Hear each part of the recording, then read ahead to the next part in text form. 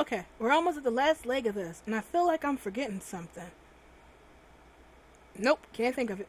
What we're gonna start going in here, and we're gonna start texturing our um, shirt. So I'm gonna just pretend like we don't have pants. Like seriously, get out of here, pants. We don't need your kind anymore. So we don't have pants, and we're just gonna focus on texturing our t-shirt because texturing t-shirts are just so much fun. Whoops, I shouldn't shake the table. All right, so we're gonna start by creating a bake map for our, our um our avatar, our shirt. So we're just going to do a basic baking map, a basic shadow map. But the first thing I want you to do is go to the materials tab and take off this magenta color because if we were to bake it as is with that magenta color, um, our shadow map is going to come up pink or magenta. So we want to make it white.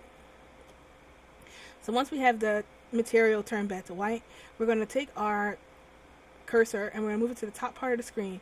And you're going to see it's going to go from a, being an arrow to a cross.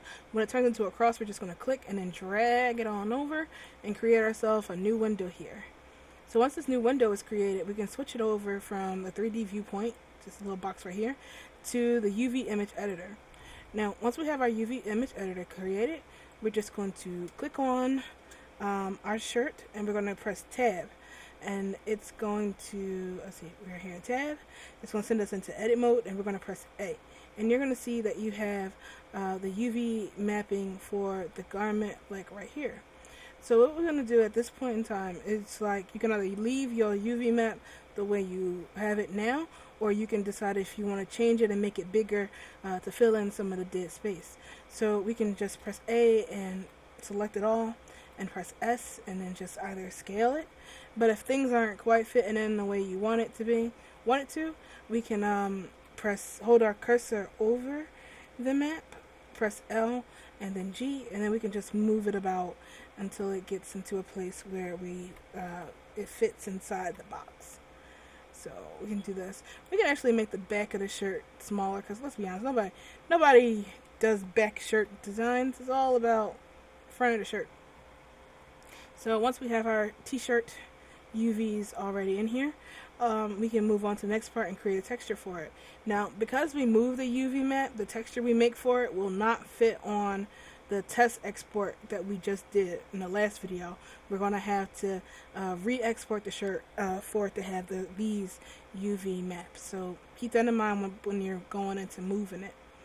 So um, yeah, once we have everything set the way we want, we're going to press new and we're going to change it to um, whatever this is 1024 times 2 this is 2048 but if you don't know what that is you can just press shift and 8 and it creates a multiplication and then we press 2 and then hit enter and blender does the math and tells us that it yes that is 2048 by 2048 now before you start losing your shoes and um, going crazy, screaming zero zero. That's way too big of a texture for uh, just a plain old T-shirt. Don't worry, I, it's a reason why I'm doing this. Um, Marvelous Designer makes things really big, so when we go into texturing, uh, it saves us a problem. When we're done texturing our shirt and we have everything set, we'll shrink it down to like 512 so it can load without lagging people around us or without taking up a lot of memory. I'll talk more about that a little bit later. So um, we have our texture here, and then it's on there. Um, we're going to go over to this little tab where I'm shaking my mouse, and we're going to switch from the materials tab to the world tab, and we're going to enable ambient occlusion. It's enabled for me, but you don't, you may not have it. So if it's like not check, check it and we're going to turn our samples. Uh, the magic number from what I've learned is 22, but I want to get this done and make it go faster and not blow up my poor baby. So I'm going to put it just at 12 or 10. Um, the higher the number is, the cleaner and less gritty the texture is. Um, the but it takes longer to render the lower the number is, the faster it render, but you get more grit in your render. And what I mean by grit is, um, okay, let me just put it at 5 and show you what I mean. So I'm going to click on our shirt and I'm going to go over to the render tab. Just going to scroll down and I'm going to hit uh, change the bake. It may be on full render, but I'm going to put on ambient occlusion and we're just going to press bake. So give it a second to do so. You'll see the, the progress bar up here.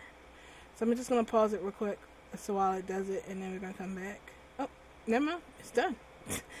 Alright, so you see it's got these gridding, shading thingy here because I had it on two. Now, if you were to bake it at a higher level, you won't get that texture to your clothes. I'm going to go back and try to find that again. So let's see. Turn my samples up to like 20.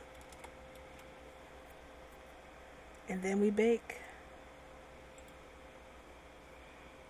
Fun fact though, um, although triangles are cool, quads bake a lot faster than triangles. So if you are in a rush, you may want to convert it to uh, quads if you want to stuff the bake quickly. But if you don't really care and you got all day, you can just bake them with regular triangles. So I'm going to pause this real quick while everything runs, and I'm going to come back and show you the difference between uh, this and uh, one that was baked at a higher level. Although I must say that's pretty messed up. As soon as it finished baking, my like favorite song comes on the playlist, and I'm like, must not jam, must continue with tutorial. okay, so you see, now that we turned it up, um, the grit is like really refined. It's not there. I mean, sure we got cracks and stuff, but that's because of the triangles. But you know, it can't be helped. Um, so it really uh, depends on you. What do you think is quality and how fast your computer goes? Because some people just you know blur it anyway, and uh, when it goes into Photoshop, and they don't, it doesn't really matter. So it, it really is up to you. So now that we have, anyway, so now that we have our baked template here, we're just going to hit save as, and we're going to save it on my desktop as I don't know, Untitled Three, and hit OK. And just wait for it to save and there you go. Now, another thing somebody asked me, like, what if you just don't want to put the texture here and you make it like a template and you want to give somebody, I'm put the texture solid on here, and you want to give somebody like a wireframe of it? I think I knew how to do that. Just give me a second and I'll show you how. I think go into air and then you go to this and then you export UV layout. And uh, I guess when I hit that,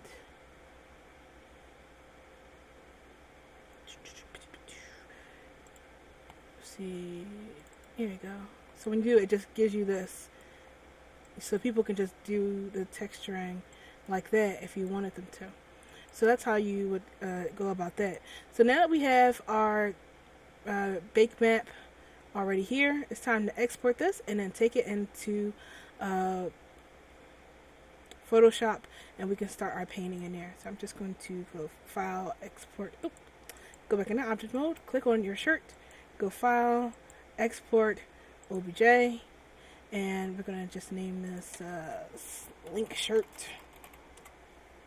Make sure that selection only is checked and include UVs is checked. You want to make sure that. And if you're curious about, like, uh, you can do the same thing that we did with the Marvelous Designer and just name this uh, 3D painting. That way you know everything is checked and you can just click that and then go desktop and hit OK. Alright, now we're ready. Let's go over to Photoshop and we can start our 3D painting.